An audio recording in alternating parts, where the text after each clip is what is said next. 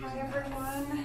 Sorry. Um, uh, welcome to our fourth session of Discover DH. Um, for those of you who haven't been to the earlier ones, this is a 10-week series in which um, essentially we're going through different topics um, and questions in the digital humanities. Um, this is one of our hack sessions, so we're going to be, uh, as opposed to yak sessions where we talk, um, we're going to be doing some hands-on with Voyant, which Abby uh, Scheel, one of our humanities librarians, is going to teach us about. Um, and without further ado, here's Abby. Thank you, Sarah. So hello, everybody. Um, like Sarah said, my name is Abby. I'm one of our humanities librarians. And today's uh, workshop is about text analysis and visualization. Um, we will, this is a hands-on exercise, so you guys all have computers. Um, if you haven't done so um, already, I'll have you install the tool that we'll be using, um, or one version of the tool that we'll be using uh, shortly. But I thought we'd actually start with uh, some basics. Um, start with just what is uh, text analysis, a little bit of a, um, a definition. Um, so just as a basic definition, we have text analysis is the process of sorting and analyzing data contained in text for research purposes. And I uh, will give full credit right now to Bonnie Santos, who has put together a guide for us, a research guide to text analysis, because I cribbed that straight from her guide. Um, I thought we'd, uh, we'd stay uh, consistent. That is a really great guide. It has lots of uh, handy resources, including a lot of documentation and information on Voyant, the uh, tool that we'll be using uh, in a little bit. If you look at this, this definition, right now it actually, it's not necessarily just digital humanities. It's not, it's not necessarily tied to a computer because you can analyze text um, with you know your, your, your eyes. You can do this uh, in a very traditional way of picking up a text and reading it and kind of uh, uh, breaking it down. The only thing is that maybe you know you don't talk about talk about data necessarily when you talk about say literary studies uh, uh, in the traditional sense. But for the most part, um, that could apply to to all forms of textual analysis or literary um, analysis. Today we are going to be focusing on computer-aided uh, text analysis specifically. Um, and while we're talking about the, the scope, I'll also say um, text analysis is not just something that you do in the humanities um, or with, uh, uh, say, literary texts, um, which is what I think is often often talked about. Uh, you can do it with any kind of text. It could be, you know, tweets. It could be a collection of blog posts. It could be uh, government documents. Um, any kind of text. Uh, but since this is part of the Discovering DH series, uh, Discovering Digital Humanities series, and I am a humanities librarian, I am going to focus um, on humanities uh, examples today. Um, I also have a few other terms up on the slide that you might have encountered um, when you, if you've looked into text analysis at all. One of them is text mining. Um, I'm not going to fully define it today, but I would say um, text mining is often used synonymously with text analysis, uh, but it, I think more than text analysis, it does imply kind of um, uh, the use of a computer to kind of study a really large body um, of data, uh, whereas text analysis tends to be a, a little bit, little bit more flexible. Um, so a couple other terms that you may have come across uh, with text analysis um, really have to do with uh, questions of scale. So often text analysis is described as a distant reading um, of a large body of text, whereas the traditional form of, say, literary scholarship, where you take a poem and you go line by line and you break it down, is, um, is looked at as close reading. Um, that's not really that. I wouldn't view it uh, uh, so much of uh, as that kind of a dichotomy. It's not either or. More and more people are doing it, uh, doing text analysis as both and. And computers can help you with distant reading. They can help you with close reading. They can help you with um, everything in between. And the term that I uh, really like is actually differential reading, which is a process that involves you know, scaling in and scaling out, uh, starting maybe with a 10,000 foot view and then going down to the very, you know, um, um, close reading uh, uh, view. and sort of using each different form of analysis to help you generate more questions, uh, more avenues of research that then maybe take you from a distant reading down to, to a very uh, uh, close reading of a text.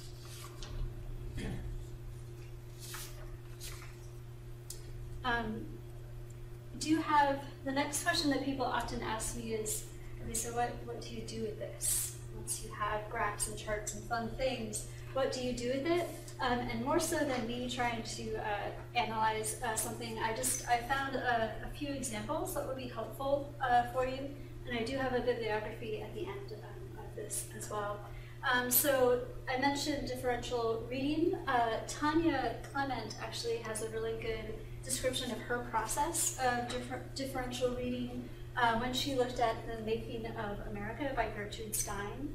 Um, so she started out with the text of Stein's novel, and then she uh, put together a representative sample of um, contemporary authors, and she compared um, she compared her text to to that corpus, um, and she found some really interesting things uh, that, like uh, Stein employs a lot of repetition. So why would that be? And that brought her to a close reading, a closer reading of Stein's uh, Stein's work itself.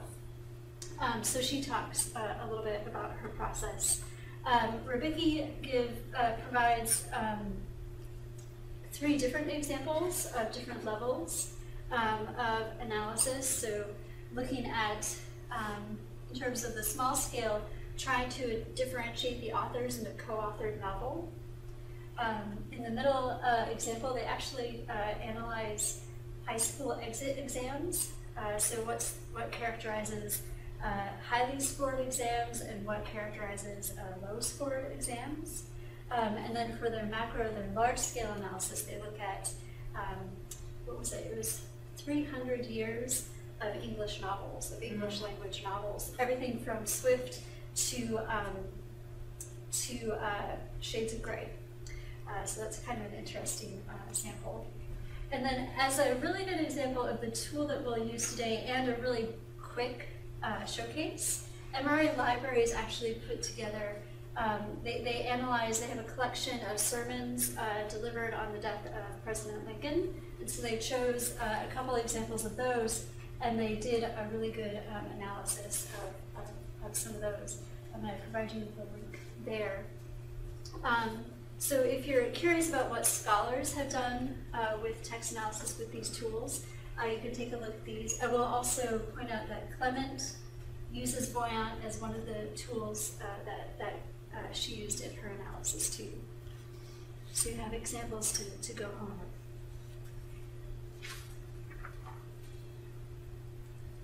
So we know kind of what text analysis is.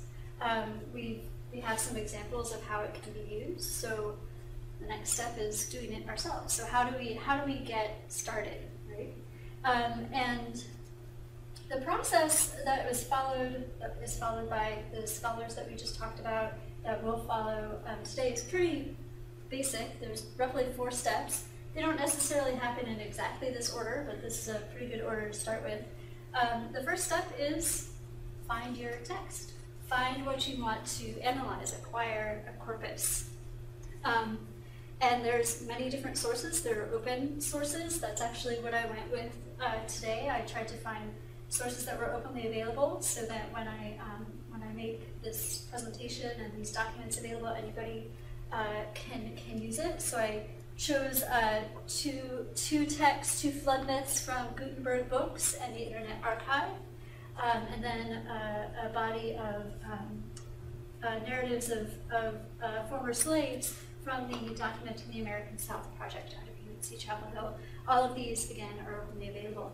There are, you know, um, um more restricted uh, uh, uh, sources. for instance, some of the databases that the library offers, you can actually get a text mining file uh, to use. So some of the, the newspaper sources that we've recently acquired um, have that available. We're just working on how to make it available to our community.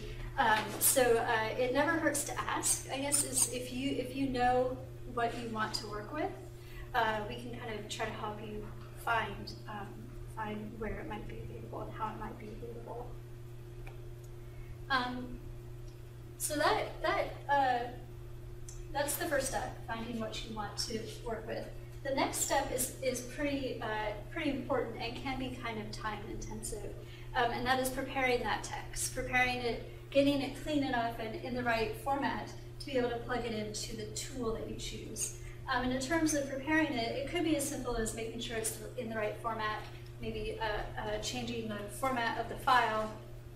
Um, you might have to do things like remove extra information. So for instance, the file of the Genesis flood myth that I chose had the, you know, the biblical uh, uh chapter headings, the, the verse headings um, for each, each verse. And that was too much. I thought it was going to throw off the analysis, so I had to go through, uh, script that out, uh, delete that from the file.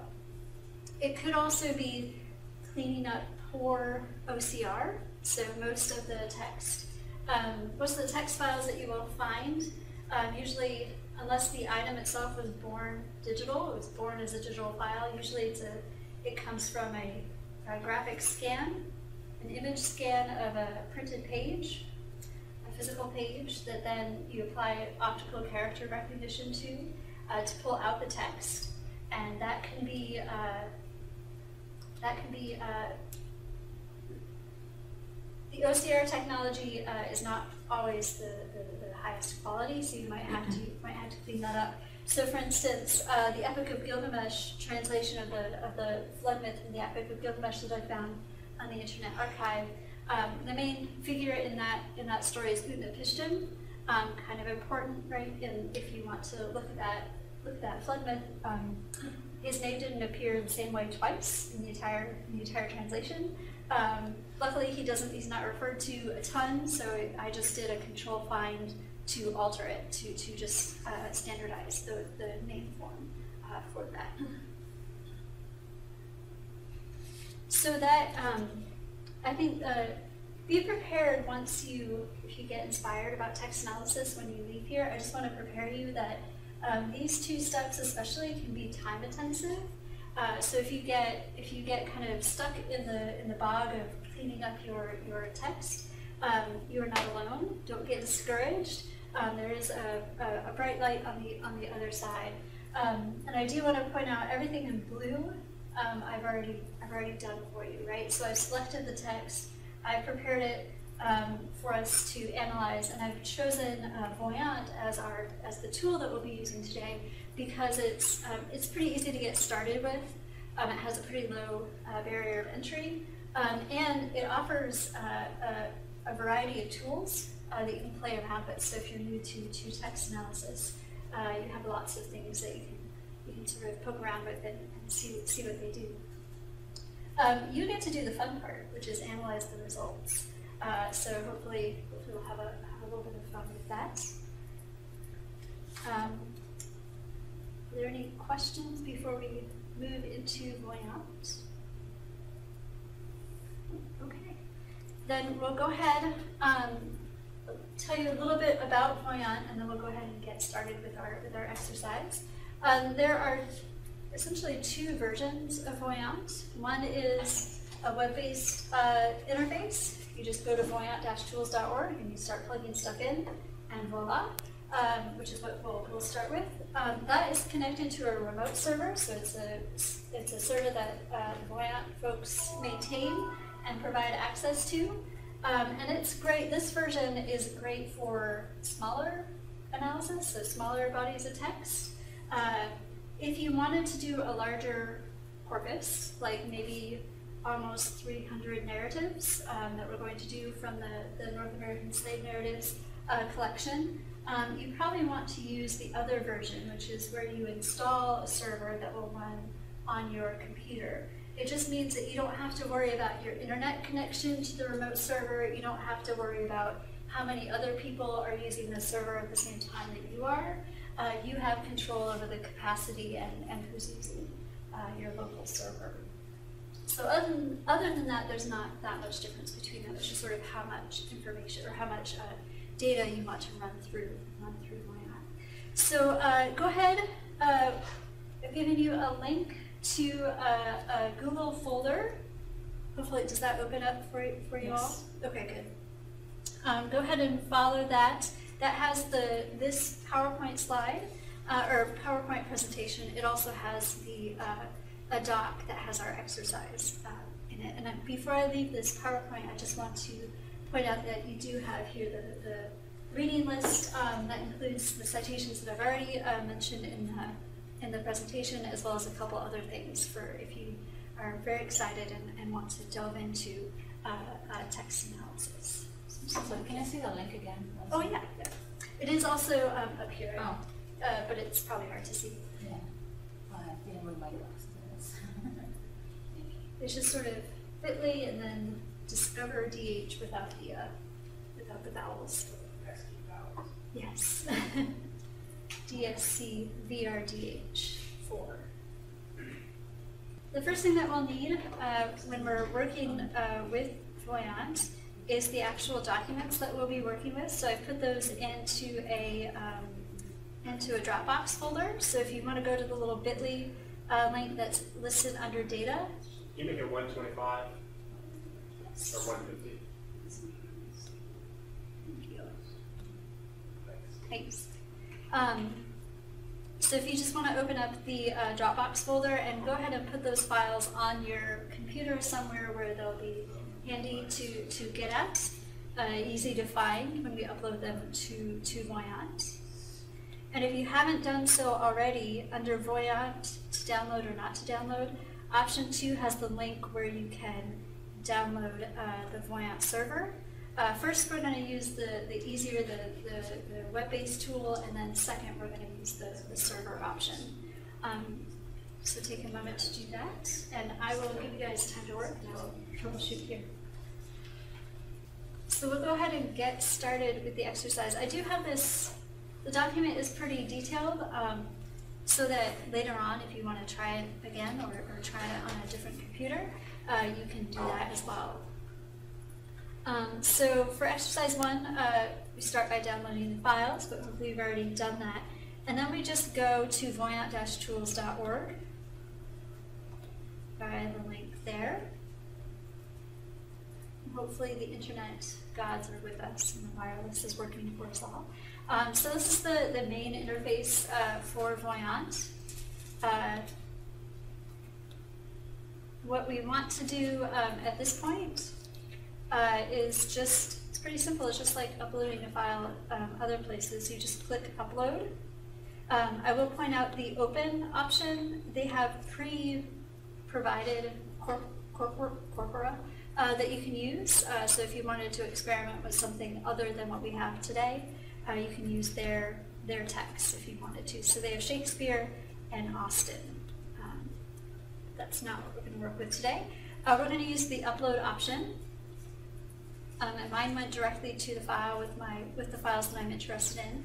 Uh, but go ahead and navigate to wherever you have those files saved.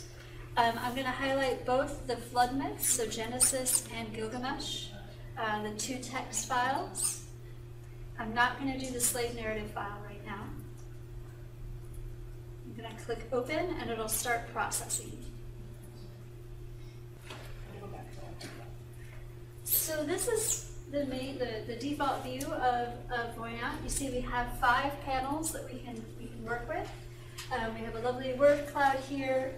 Uh, down here is a nice summary of our, of our documents. I don't know if I can make this make it bigger. Um, down here is our summary uh, view. Uh, so it will tell us things like which one is the longest, which is the shortest, uh, what's the, uh, which has the, the highest vocabulary density, um, what are the most frequent, frequent words in the corpus, the five most frequent, goodness, frequent words. Uh, but then it also has uh, what's distinctive about each, each uh, document uh, in, the, in the corpus as well. You also, in the center uh, reader panel, you just have the full text of all the documents that you've put in, uh, so you can go through and look at them. Um, you also have a, uh, a sort of uh, uh, the right below the text in the reader is is a sort of a word frequency chart throughout the the, the course of, of the, of the text. So the first thing, once you enter information into Voyant, um, and after you've gotten over kind of being dazzled by all the, the information that's presented to you, the first thing you actually want to do, and I'm going to go ahead and make the word cloud a little bit bigger. I can just uh, click and drag the, the, um, the uh, panels uh, here. Uh, what I want to do is actually just take a look here, and I like to use the word cloud for this because it's you know nice and graphic, um, and see if there's any words that I'm not interested in that are kind of throwing off the analysis.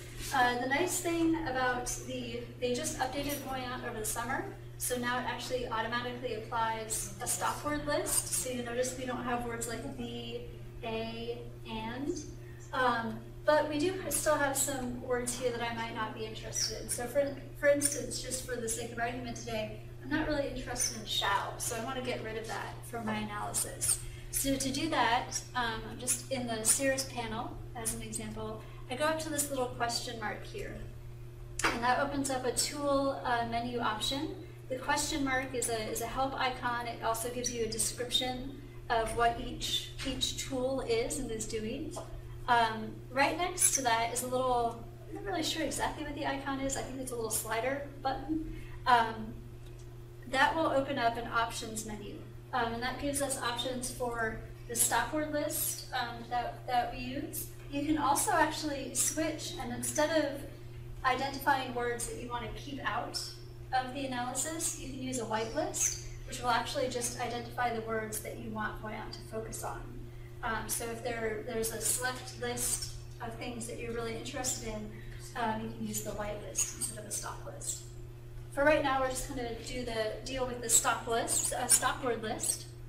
Um, notice it's auto detected. Uh, it automatically applied a stop list for us, but I want to add a new word to that. So I'm going to click on Edit List next to Stop Words.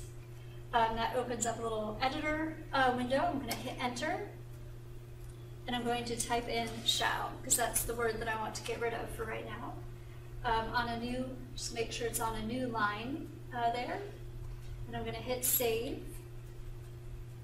And before I hit confirm, I'm going to make sure that the checkbox next to apply globally is checked. It should be by default, but I just want to make sure. Um, that will make sure that this change is applied to all the windows, all the panels, um, instead of just the uh, Cirrus panel, which is the one uh, that I'm in right now. So I'm going to hit confirm. And that should update the entire thing. Just give it a second. Notice right away my word cloud shall has gone away. Um, if I look, if I bring up the summary uh, pane a little bit, shall had been one of the most frequent words in the corpus, and now it's gone. Um, so it has definitely updated um, in, in the rest of the windows as well.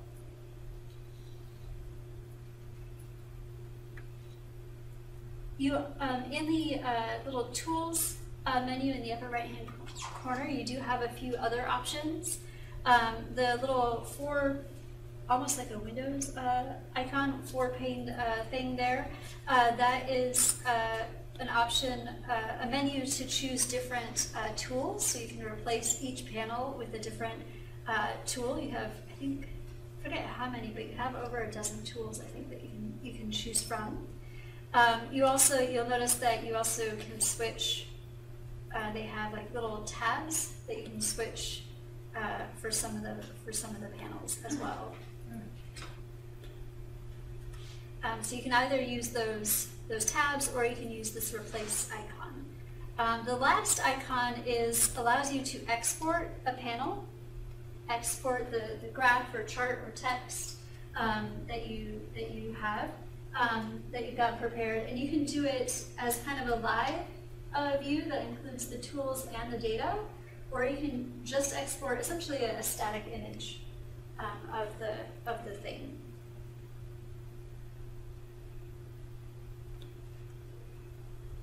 All right.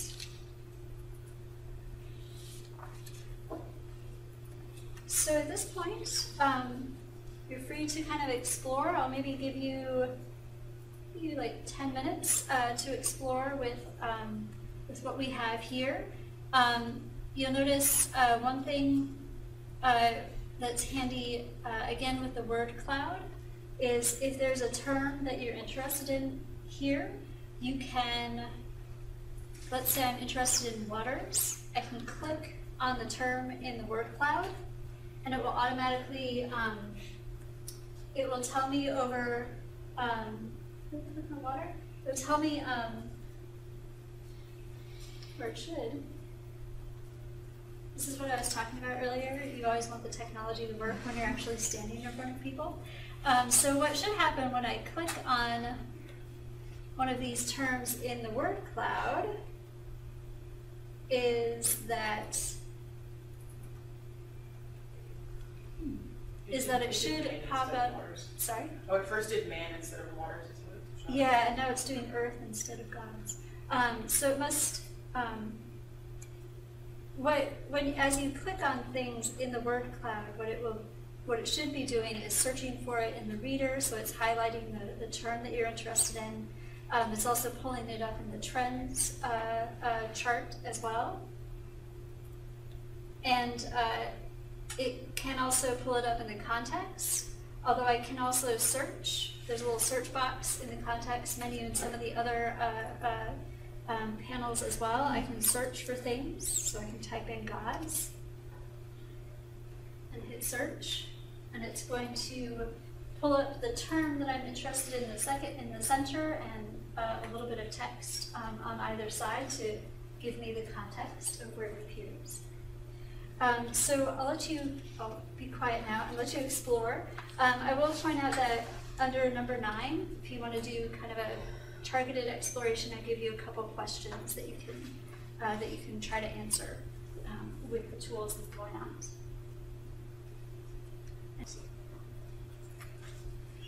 So hopefully you all are having fun kind of exploring uh, what, what Voyant is doing.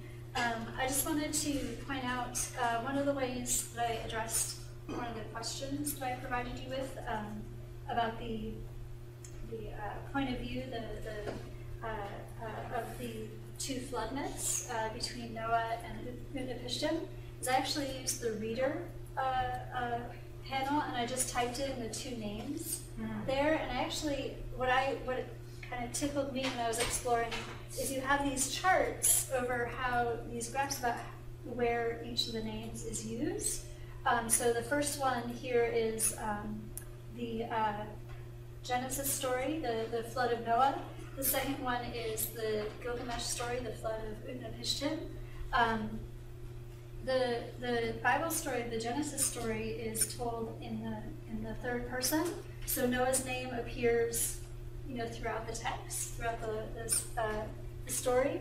But Utnapishtim is actually the one telling his own story in the Epic of Gilgamesh. So you only see his name at the beginning and at the very end, doesn't appear um, in, the, in the middle. So I just thought that was a, a nice kind of visualization. That might be something to use uh, at, in, in the context of teaching, uh, or if you're trying to you know, analyze the, the, uh, the, the voice um, of, of a text. So uh, I'll also point out that what I did up here um, is I just plugged both texts in, both versions of the flood myth in um, together and analyze them together. I noticed a couple of you uh, just put in one at a time, and that would be, that's actually another way that you can analyze them. You can put in one text, you can uh, play around with what you find in Voyant, uh, export it to save the different visualizations or, or um, um, uh, text that you, information that you, that you find. Um, do the next one, do the same thing, and then compare them uh, side by side. Another way that you might do it is um, get together a larger corpus of other flood myths, maybe flood myths from around the world, um, put that together um, and, and plug that in here to do a larger, a larger comparison as well. Is Yeah. there an easy way to upload one more document once you have this open or not? You have to close it out and, and, uh, and do it again. Unfortunately, uh, it doesn't, it doesn't let you add things, uh, later. But it is pretty easy to upload things, so it's, uh, moves, uh, moves that way. So uh, we have a little bit under 20 minutes left, so let's segue to exercise two, which uses the uh, installed server version of, of Voyant. So I'm actually going to close out my web-based uh, Voyant, close that out, and then I'm going to open up Mine's of course kind of buried. Uh, I'm going to open up my Voyant server. Uh, just navigate to the little icon, the little Java icon where it says Voyant server, and I want 2.1 uh, is the current uh, version. And what you will come across first is the server window. And then it will automatically, once it gets up and running, it will automatically pop open a new uh, browser page and it will look, this will look exactly the same as what we saw before with the web, web-based version, but it's now actually tied to that server on your local computer. So even though the front looks the same, the, the back um, the back end is, is different. Um, I do want to make a couple notes about this uh, server window. Uh, before you close it, do not close it um, until you hit stop server. That is the first thing to know, because if you don't do that, if you just hit the X button, uh, without stopping the server, it will continue to run and it will continue to eat up the memory uh, on your computer. Essentially, take up space on your on your computer, and you don't want it want it to do that. Um, so that's the most important thing. Uh, the next thing is uh, if you're going to be doing crunching a lot of data uh, with this version of, of Voyant, you can actually adjust the amount of, of uh, memory that you give give the server, the amount of space essentially that you have uh, to do to crunch the data. And the way that you do that is you stop the server. I'm actually going to go ahead and increase the amount of, of memory here for uh, what we're going to do on this exercise. I'm going to hit stop server. You notice that it immediately changes to start server.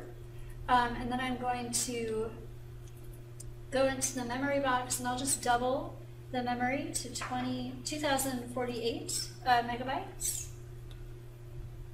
And then I will hit start server to start it up again.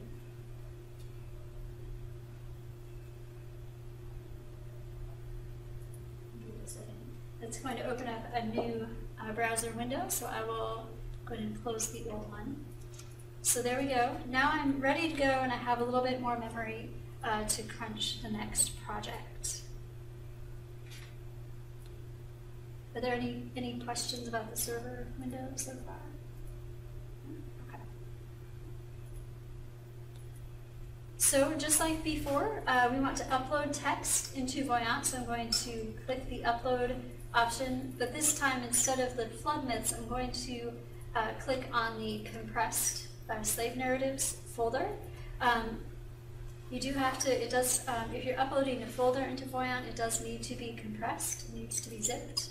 Um, I, uh, I, I learned that the hard way, so I'm sharing uh, that with you. So, uh, yes.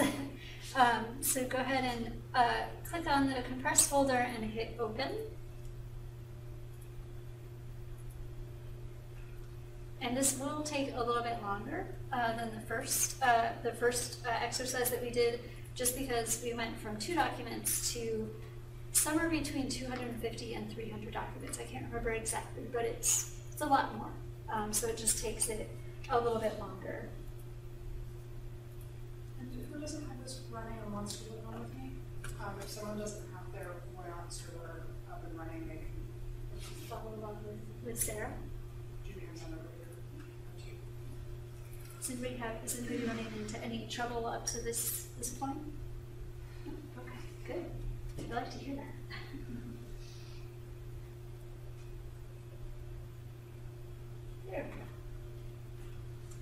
All right, and it looks pretty much the same. Um, you'll have access to the same tools that you, that you had before.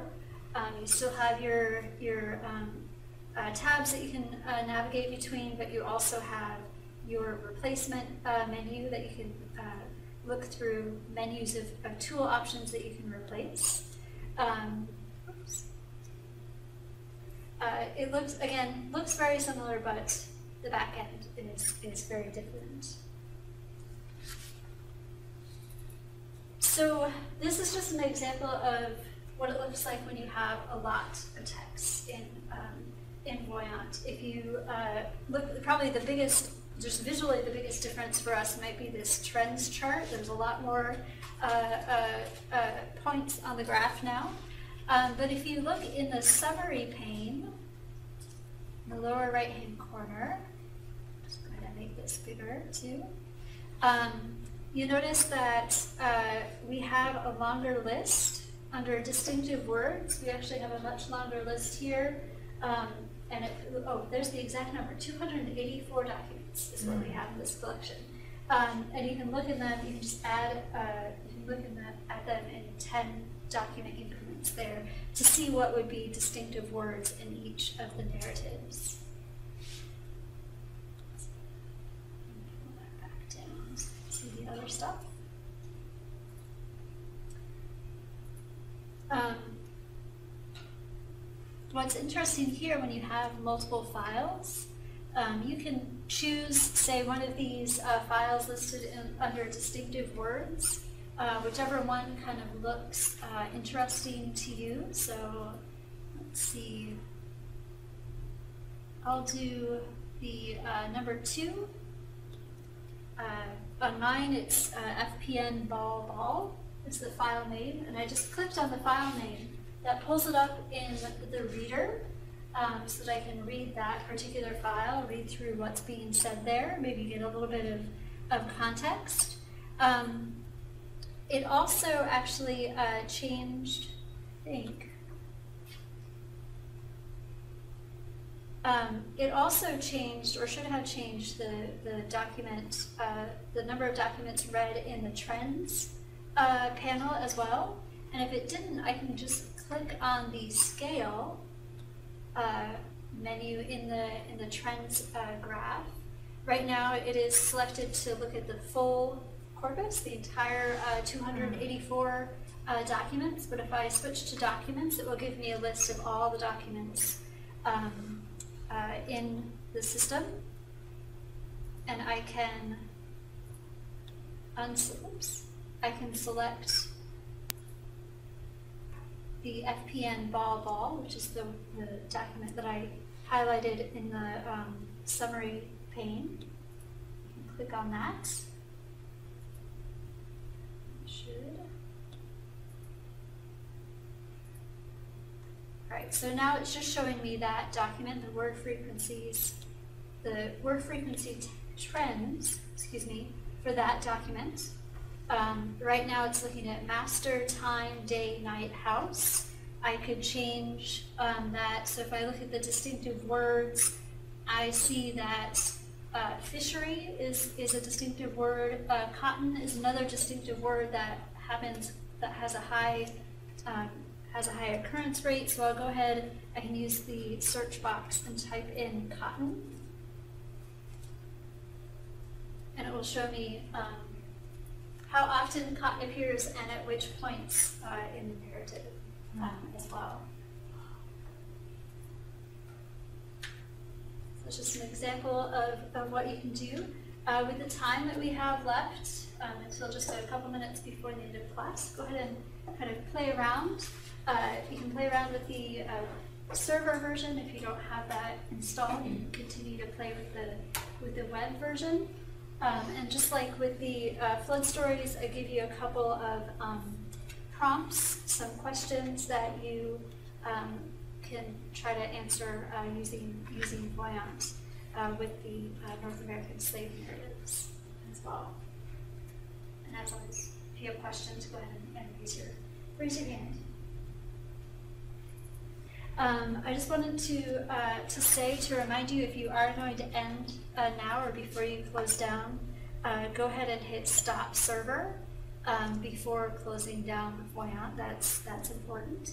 Um, I also uh, uh, wanted to say that you you will have you will continue to have this documentation um, at this link, the the PowerPoint that I gave, and uh, the instructions uh, so that you can work uh, on this later if you'd like or have a refresher later.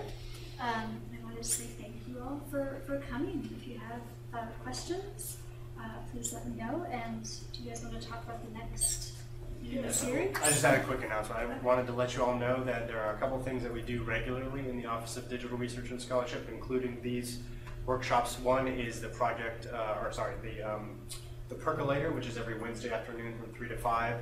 Anyone is invited to come and bring your ideas, or you could come and play around with Voyant more and ask more detailed questions of us. Uh, come and talk about projects, come and talk about digital humanities, whatever you want. That time is always open. Just a note for this week though, because we do have the um, second iteration of the same workshop, it's going to be cut short. Right. Um, So, uh, but every week other than this week, it's, Right. it's a two-hour um, open office hours. But I really wanted to plug, we're doing a, a symposium this fall, November 17th and 18th, on, the title is Invisible Work in Digital Humanities.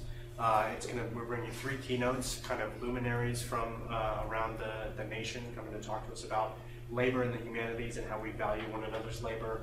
Uh, so I'd encourage you all to register for that. It'll be right over here in the Bradley Reading Room, uh, November 17th and 18th. Uh, and all the information is online at iwdh.cci.fsu.edu, or you can just Google Invisible Work FSU and that will come. And one final thing, you may have seen a little Slack notification. I'm sorry. No, no, that, that was a Using good my- segue. my office um, Down there?